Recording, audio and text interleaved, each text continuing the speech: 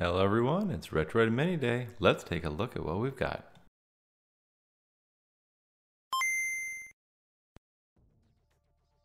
Inside the box we have standard foam packaging, a protective bag, manual, USB-C to A cable, and the Pocket Mini itself. This is what I call the Heathcliff version of the Retroid Pocket Mini due to a production error where they accidentally used a black glass instead of the standard white glass. All the buttons and sticks feel good. The ergonomic bump outs help with the comfort in the hand. Let's turn on the device and go through the initial setup experience provided by Retroid. Keep in mind that some parts of this may be subject to change since Retroid is working on a new version of its Retroid launcher and intends to release an update to the operating system moving it up to Android 13. The first steps in the launcher will be to set your language and then to connect to the internet. Once you are done connecting to Wi-Fi in the Settings app, you will select your time zone. Press the back button on the device to return to the setup wizard. Select if you want services from Google, and next is to pre-install apps. This is handy for people who are new to the space to get apps directly from the launcher, but these may not be the best version of the apps, and the newest versions may be available online or from the Google Play Store.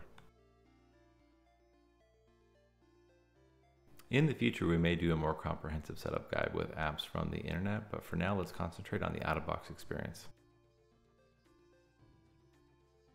The apps will take just a few moments to install. Next is to select if you want the device to start with a Retroid launcher or an Android phone-like experience. Since we are trying out Retroid's preferred out-of-box experience, we are going to go with the Retroid launcher today. More options for launchers are available online, like Daijisho or ESDE. The blank screen means you have no games set up. Next, I recommend to add your game backups to a micro SD card, which the device has a port for on the bottom.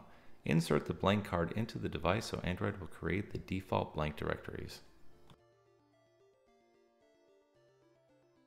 One thing to note is that reviewers with pre-production units had issues with the flap not sitting flush with the bottom of the device when an SD card is installed. That does not appear to be an issue with this retail unit. There is a few more small steps before we add our game backups, which is to select the consoles we want to emulate. These will appear in Retroid Launcher's main menu. Next is select the option to create the ROM folders on the SD card. Once that is done, move the card to the PC and look for a folder called Retroid Pocket Games where you will add games and BIOS. Now that the games are loaded, it's time to configure the emulators. I hope this is something that the new launcher is better at since the menu options in the launcher do not appear to work and the apps need to be launched separately to allow access to the directories with the games. The next step is to launch RetroArch and grant it access to storage. Note that at this time there are no core files downloaded so it cannot emulate any systems just yet.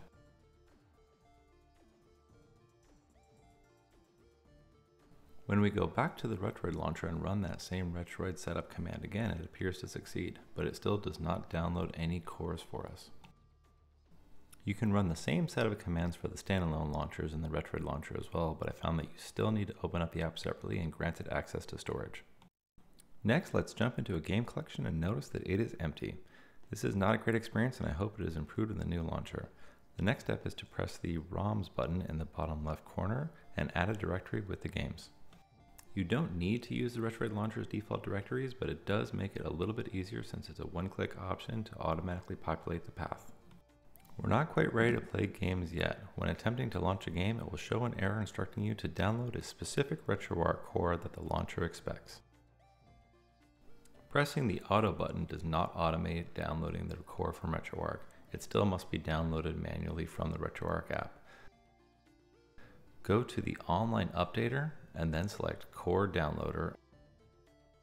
The error message from the launcher tells us to get the VBA Next core from RetroArch, but this message is small and very confusing. The list of RetroArch cores is also long and very confusing to newcomers. It is possible to change the launcher to a core that you prefer, but you'd have to edit the list directly and one typo could mean that your core does not work. With the right core downloaded, we are now ready to get into game. Notice that when you launch the game, an on-screen overlay will appear for just a second until you press your first button, and then it will be dismissed. That concludes our setup of the default Retroid Launcher experience. Please leave a comment if you'd like to see a more advanced experience. In the meantime, stay retro, stay gaming, stay awesome.